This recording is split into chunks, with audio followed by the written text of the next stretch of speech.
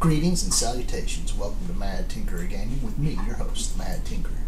Now, I didn't do one of these videos last night because, well, I was just kind of tired and I really didn't feel like it. So I haven't hit my Dark Dimensions 3 yet for yesterday and what will be upcoming for today. So I'm going to try to get in here and do this twice in essence for you so you can see two runs. I did make it to Node 3. Uh, some of those footages were included in my past few videos. So I'll check back and see what day I'm actually on on my video footage first before I upload this. And uh, make sure I put the right number on it. It's probably going to be more like day 7 or 8 for me. Um, but anyway, I went in with like half of a leftover team and it got hammered. This is arguably what people have been calling one of the worst ones to go up against because of the Black Panther and Gamora. They're saying the Black Panther Gamora combo is absolutely atrocious to deal with um, because you can never hit them. You're always focusing on Drax or uh, Miss Marvel, and they just punish you for it. So, anyway, we're going to go in here. We're going to try this. Let's get it started. this is my lineup team. I'm taking Groot out to put Hela in for a little bit more damage. Because Groot, let's face it, he's so slow, he's not actually accomplishing anything for me. So maybe at least with her minion Greg and some extra damage, we can get in. I have recently added Mr. Sinister to my mix, so we'll see what that does.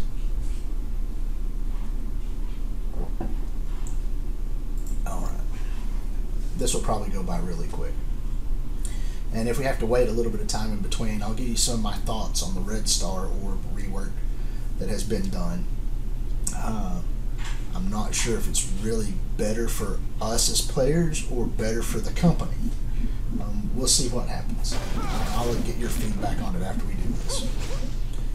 Okay, there's 42 characters in this, so this is a ridiculous amount of characters to have to fight through for one. That's going to make this a very tedious, long train. You know, I figured like 32 to 36 is long. This is just tedium.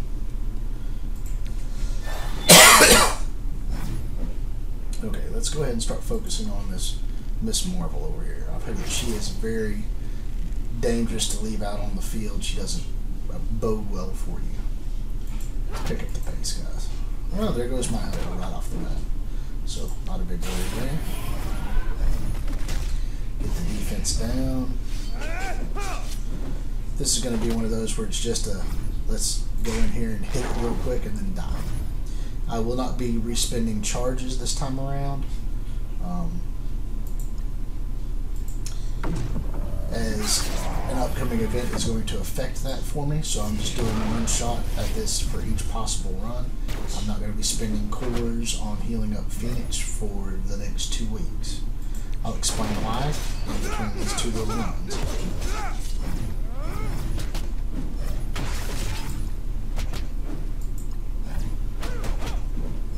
Well, see. So that's my run for the day. Now, the reason why I'm not going to spend cores is because of something that just got posted in a blog. There's an event going to be happening on Earth Day. It's starting the 25th, I believe, at 5:15 PDT, and it's supposed to be where if you go in and you do your alliance events, right? Uh, the alliance donations, how you go through the box stages. Uh, right now, if you get to the third box, which is everybody in your alliance donating 10,000 gold, and I don't know why everybody that has an alliance isn't doing this, because if you donate your 10,000 gold at the third box, you get 10,000 gold back, so you lose absolutely nothing that you've put in. Okay? So you're trying to get to this, so you just donate 10k and you get to the third box. Well, for everybody that does the third box on, you're going to get extra promotion credits. Okay? And what they guaranteed was if everybody over the course of the seven day run of the event clears to this fifth box every single day. So you have to clear to the fifth box for seven days. So that's everybody in your alliance spending 500 credits every day. Then, ta-da! You will get enough promotion credits to take a character from a red four star to a five star. now, normally they're going to charge you like $150 to do this. Okay, In, any kind of thing that they've got, the, the build ups, the add ups, like right now, if you look at their Red Star promotions, which I'll go take a quick show right here, just to show this to you so you know what I'm talking about.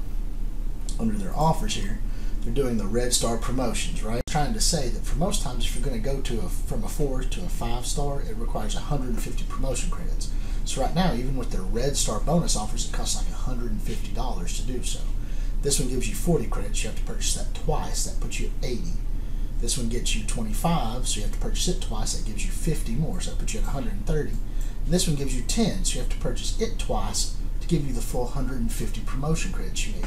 So you're looking at $150 to go from one four to one five star. Where if you do this, when you save all of your cores over this next week and the actual week of the event, you're going to get 300 to 400 cores roughly a day if you do all of your dailies and you compete in milestone events and all of this stuff. You can save up at least 250 a day. Okay?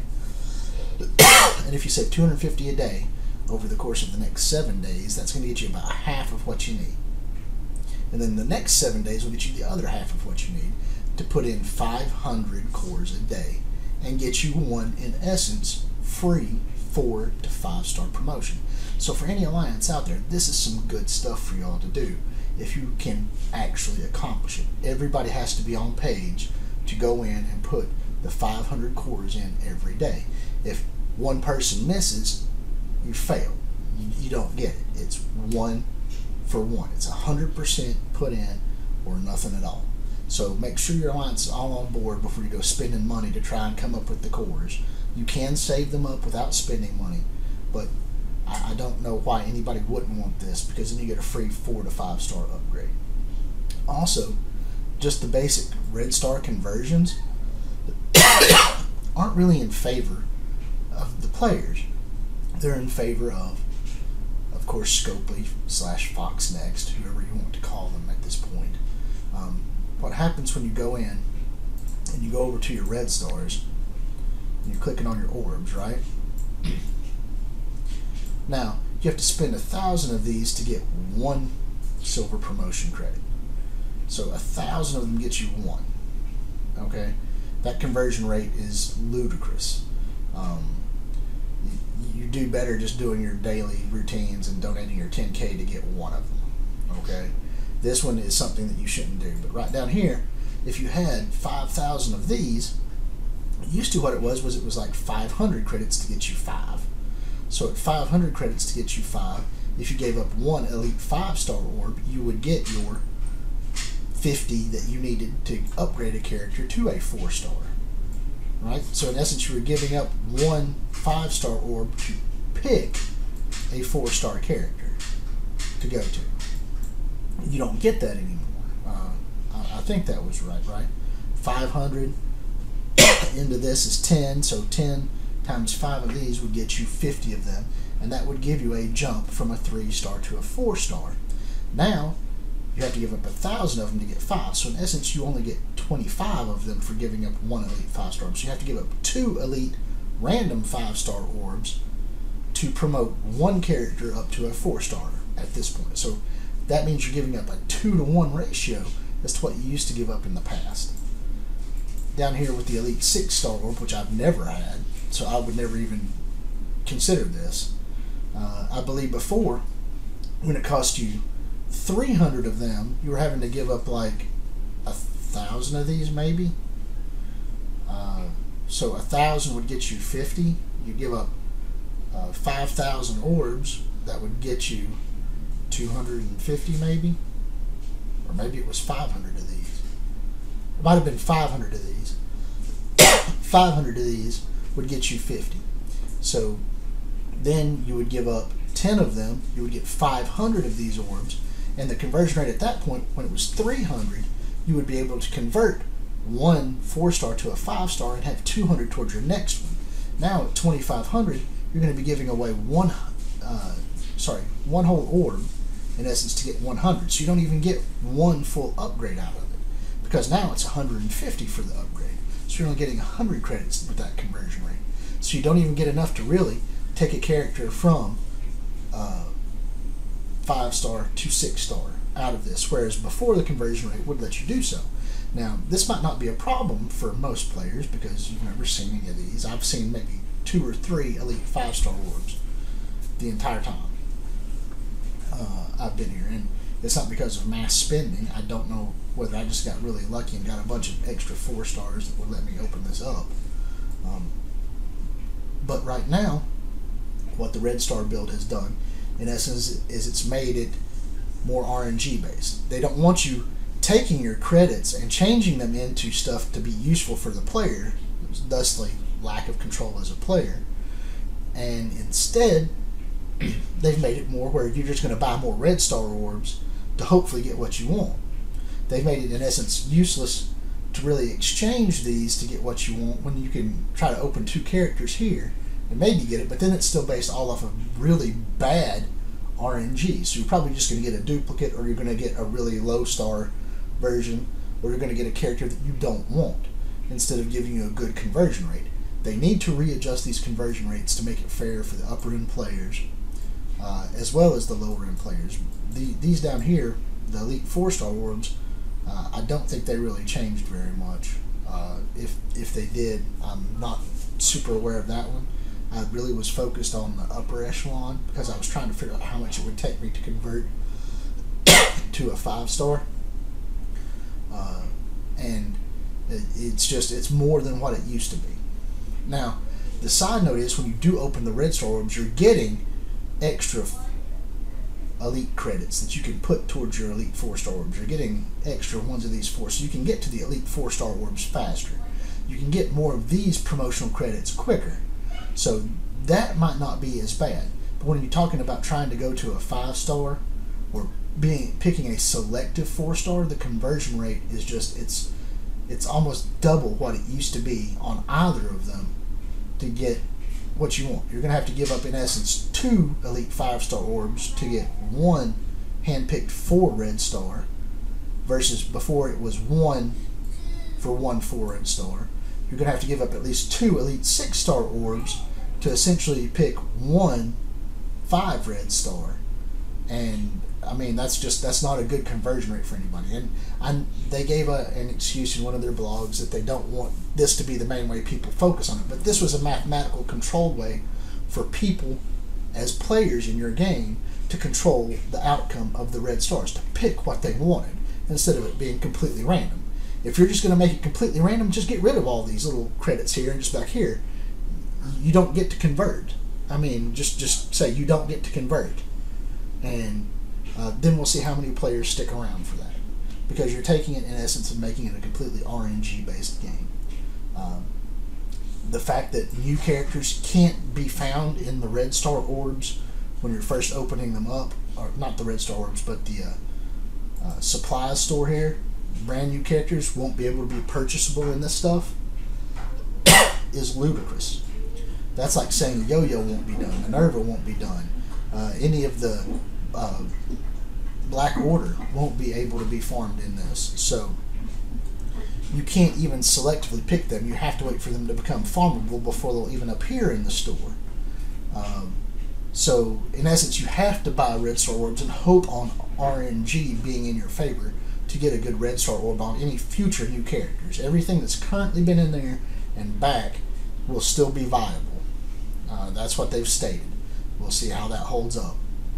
Um, but the thoughts on the Red Star Orbs is it's still all RNG based. Yeah, you do get extra credits. So I mean, you can go over here and like when I click on the full Red Star, I've, I've got extra credits. I was able to open a couple of five uh, Red Star orbs um, over the past little bit because of this, and those were very nice. Um, but in essence, you're saying for me to open up more orbs is the only way to go to ensure that I can get to a five star opening or a six star opening. And then it's all left to chance. There's nothing that I can do about it. Like the characters that I did get that I would consider uh, a worthwhile upgrade was a six Red Star Doctor Strange, which is really good when you're running with the Supernatural team. And I got a six Red Star Karnak, which Karnak is a crack character in my opinion, but he does make up uh, fifth slot for an Inhumans. But he, he's a one trick pony. He's one of the most replaceable characters in the game. And as soon as another Inhuman comes out that is worthy of being put in there, he's going to be out in the cold. Let, us just face that as it is. Karnak is not the best character on the planet. and it was all random. It wasn't like I could, oh, well, maybe I'll just save these credits and shift them into this and then hand select a character for me to go to. But that being said, the Red Star Orbs are that way. Uh, the promotions right now, you have to spend $150 to do it, or you can take part in this event, like I'm saying, and spend 500 credits a day and get to pick a 4 red star to a 5 red star. Now, with all that being said, and me getting that kind of a rant off of my chest, which I'm sure most people have heard this before or watched other videos on it, it is now 1201, so I can go back technically and hit Dark Dimensions 3, not 2. I don't need to go into 2. Dark Dimensions 3 should be able to reset and relaunch. Alright, let's do one more run this way I didn't use any uh, any excessive cores. I'm saving my cores, like I said, so don't expect to see double attacks. Uh, these will probably start coming at the end of videos for the next little bit when I do a video. So don't expect to see Dark Dimensions 3 Day 15 on anything like that. It'll just be like at the end of one of my videos. So you can wait and watch that footage if you feel like it.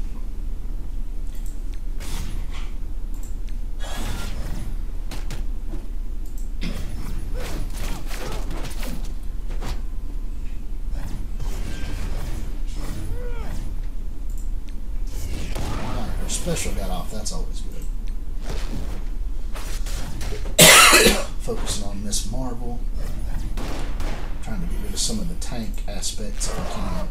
One of my friends said that's one of the hardest parts of the whole thing is the tanks just they they go absolutely nuts. You can't get to the targets you really want because the tanks are always up and they don't ever die. Um, that's like 102,000 Miss Marvel, so me getting through her is going to be rough. Anyway, that's my two attempts at Dark Dimensions 3. That's my little spill over Red Star Orb reworks. I don't feel like it really benefited the players as much as it's going to benefit the company in terms of they've plotted it out and thought it out to where instead of people exchanging a rate in favor of them, uh, they just want you to buy more red stars. So it's going to hurt the whales who are trying to get red stars uh, and red stars on new characters because they can't until the character becomes farmable. Uh, that's going to hurt their sales. Nobody's going to spend money on random RNG when they're not even going to get it on a character that they want to begin with.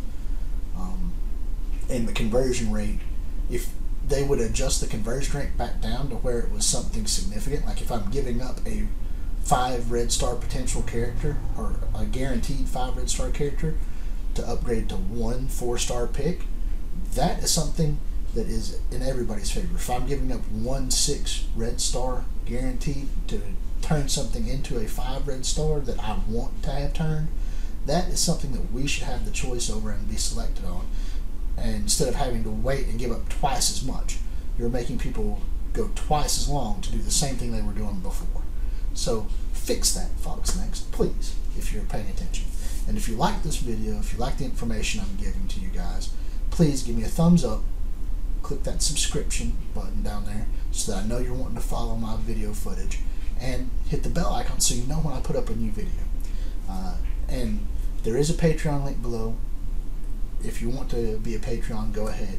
Yeah, I'll work out details on what I'll do for specialty things in a later date. Uh, I'm just now getting that up and running. but that's not necessary. Uh, I would rather people just watch my show and enjoy the content and share the videos with people right now to help my channel grow. Okay, that's the best way y'all can help me out. Is just share my content, give me feedback on what you think about the red stars, um, and also if you pulled something amazing out of it. Like I said, I got two six red stars out of it, which is not bad. Don't get me wrong, it is not bad. but I didn't get them out of the basic orbs I had. I had to wait to build up all those credits to get four elite star orbs, and I got two six red stars out of that. So I was very grateful for those six red stars because you don't normally get them. But still, the lack of choice is something that I think a lot of players are going to be upset about. Anyway, thank you. I hope you enjoyed this video, and I'll see you all later. Bye.